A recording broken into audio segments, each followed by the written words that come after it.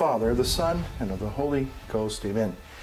Father Francis here again on the second Sunday in Lent. Today we encounter uh, covenants, converts, and clouds. So, how is your Lent going, my friend, this uh, second Sunday?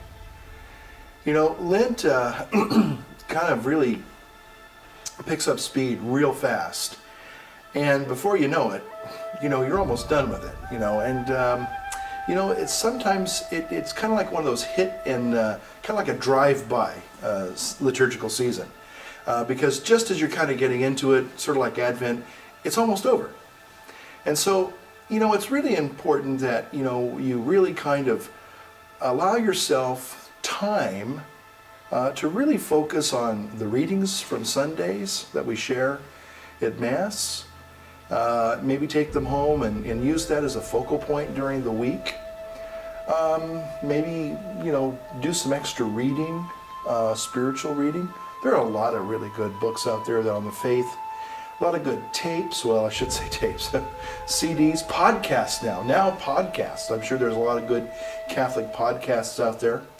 Uh, in some ways, this is a, was an original attempt to be a podcast, but I think a podcast is a little bit more of an audio uh, presentation than just a video. So mine's more of a YouTube presentation.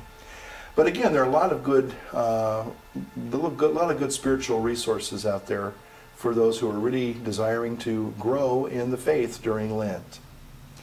So we see in our first reading today, you know, uh, Abraham making a covenant with God. And it's amazing because God chooses to covenant with us.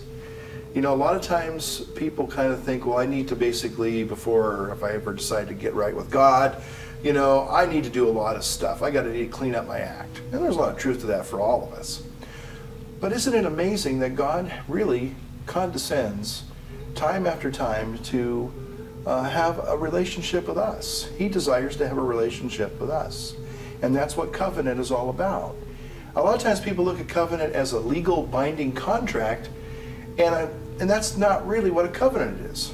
In a contract, you kind of exchange property or things. You know, I will agree to pay you so much for that thing, and then that thing it becomes it comes into my possession. I have take ownership of that thing. But a covenant is is more like a marriage. In fact, it is a marriage. You know, you're not, you know, basically buying a wife or a husband when you get married. Uh, you are become you're entering into a marriage. And in a marriage, you're not trying to get something, you're trying to give of yourself. So it, the difference between covenants and contracts is simply this. One's dealing with things and the other is dealing with people. And so God wants to covenant with us he wants to be our God, and He wants us to be His people. Now, when we read in the second reading, St. Paul is talking to his converts in Philippi. So, here, St. Paul is, uh, is uh, basically uh, ministering to these, these converts now and he loves them. You know, he has a real fatherly relationship with them. He he uh, is concerned about their spiritual welfare, and so, uh, like any good father, good spiritual father, he has to sometimes, you know, uh, encourage them, but sometimes he has to admonish them. Uh, I think he does that more certainly with the Corinthians than he does with any other group. But uh, but he does have to give sometimes, you know, a little admonitions, even exhortations uh, so that people can see where they're kind of going a little bit astray so they don't father, so they don't wander too far from the faith. But being a convert, converting, let me tell you something. Being a convert, if you've never been a convert to something, you're missing out, you know. Uh, I really think that that's the truth because I certainly I'm a, I'm, a, I'm a Christian. I'm a convert to the Christian faith. But um, as about three years ago, this this month, and well, I'm making this I'm making these uh, videos a little early uh, in February, I became a Mac person.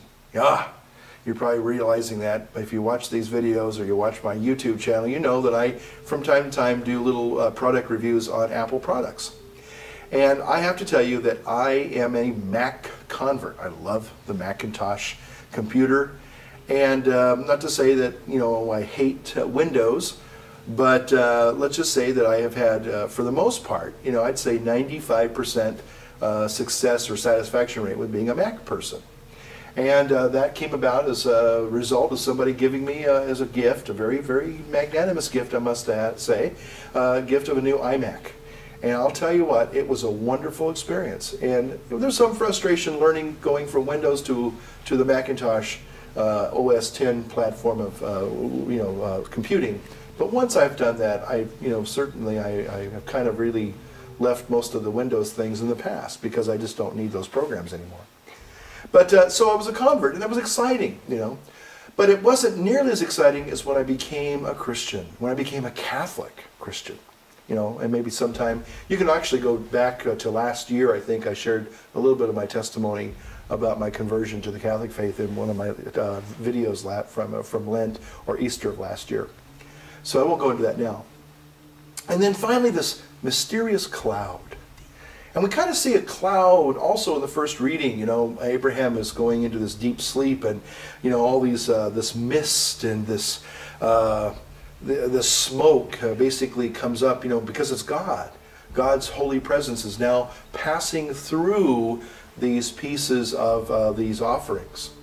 But now we see God, uh, we see the cloud again appear on the, on the transfiguration. Our Lord goes, he takes some of his very intimate disciples with him, and they go up to this mountain, and he reveals his true self to them.